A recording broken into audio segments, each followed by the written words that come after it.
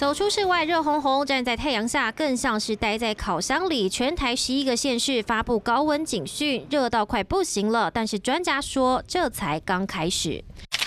天气专家林德恩分析，太平洋高压实在太过强势。从气温预测图来看，从六月二十四号到七月六号期间，太平洋高压轴线明显牺牲，整体温度偏暖，各时段气温略高于平均气候值零点八到一点四度之间。关键是各地高温似乎还没看到尽头。在台湾的附近，以及包括整个在台湾以东、西北太平洋的洋面，云量上都是比较少、比较晴朗区域，而这个区域其实就是太平洋高压所。笼罩范围哦。白天云量少，太阳加热快，温度直线上升，热伤害就诊人次单日都来到近五十人。接下来一整周温度预测，全台还是红彤彤一片，尤其二十四号在中南部内陆地区、大台北地区、花东有机会飙破三十六度。二十五号开始改吹东南风，各地还是相当炎热，南部地区温度还会再更高，来到三十六、三十七度。防范高温之外，也要留意午后雷阵雨突袭。在中午过后的话，其实还蛮多地方容易会出现午后雷雨的情形哦。